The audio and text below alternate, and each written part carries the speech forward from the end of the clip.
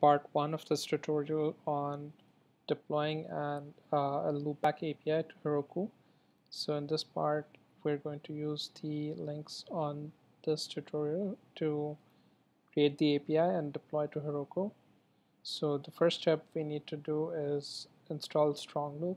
I just installed it already, so we'll go to the step where we generate the application. So here I say SLC loopback and I'm in the folder for my application which is DevOps API so I'm going to use the default name for the application. Now in the next step after this we're going to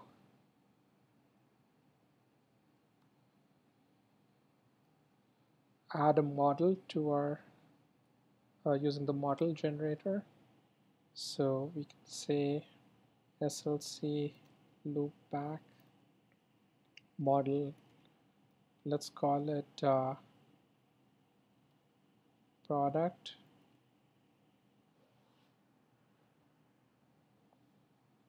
So it's going to ask us the model name the data source. So for now we can use uh,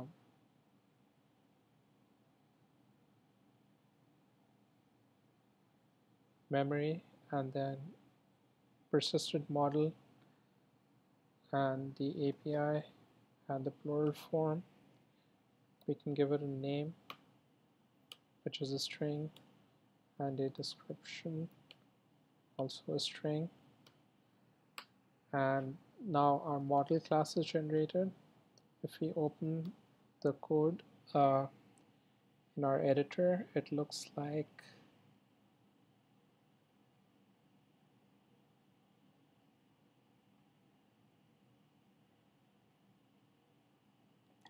So we have a server folder which contains the model config. We have a config JSON in the server folder and a client folder which contains just a readme. Then we have a package JSON and uh, so let's go to this next step.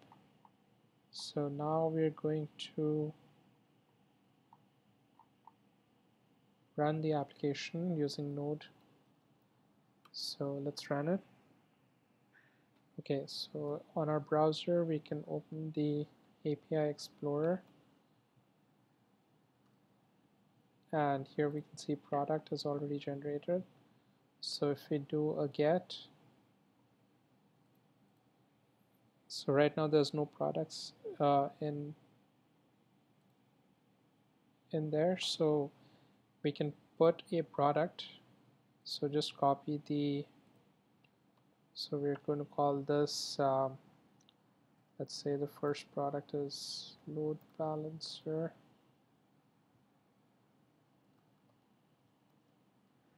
Okay and let's paste uh, post that. And now if we say get uh, it's uh, showing us the load, bal load balancer. Okay, so the next step is to uh,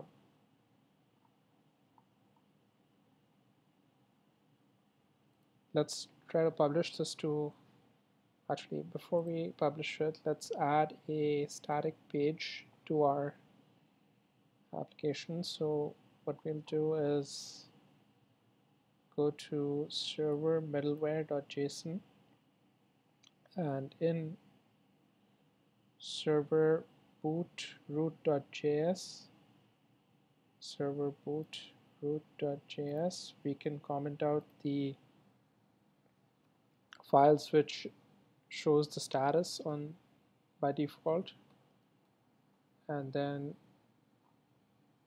we can go to middleware.json and set a static page in middleware.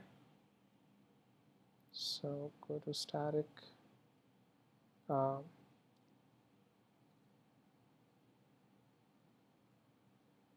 files section and add the static page. And in our client client folder we can add a new file called index.html and we can just add some default uh, HTML there so let's call it uh, DevOps API. Okay, so now we have a static page. Now if we run it locally, we should be able to see the static page.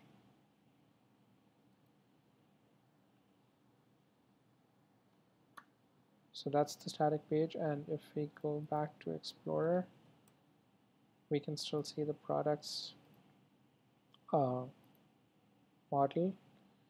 Okay, so notice that it's not persisting the data that we had. Uh, so let's go ahead and publish this to Heroku. So if we go to the second link here, we first create a Procfile.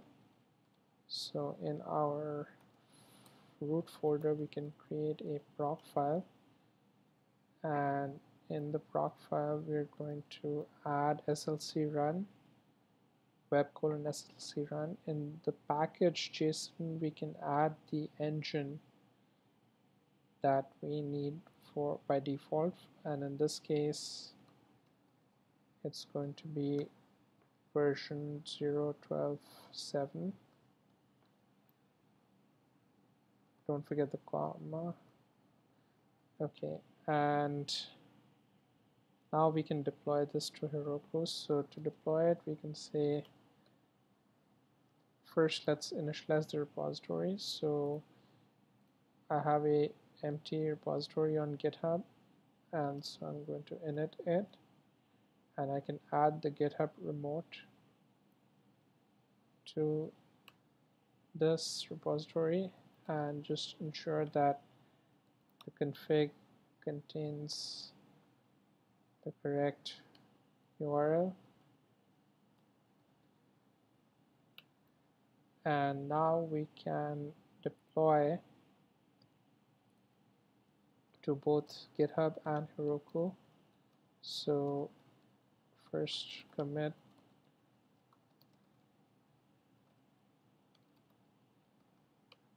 And push to origin master.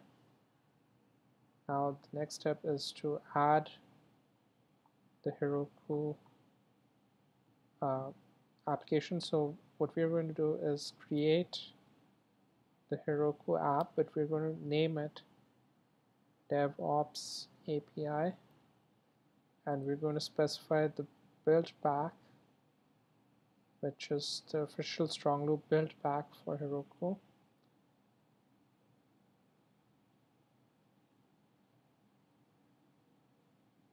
so now it's saying that Heroku remote was added now we can git push to Heroku.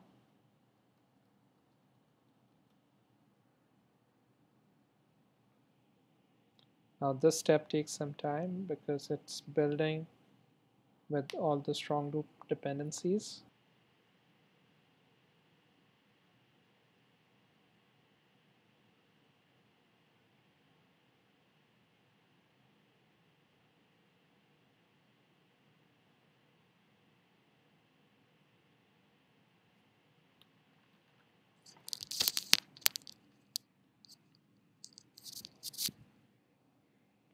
So now that our application is deployed, we can open it in our browser.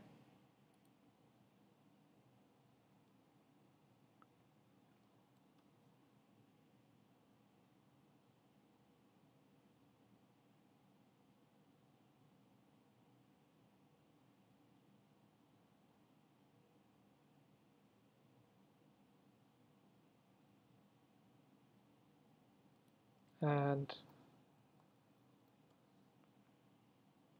check that it works. So thanks for watching. See you in the next one.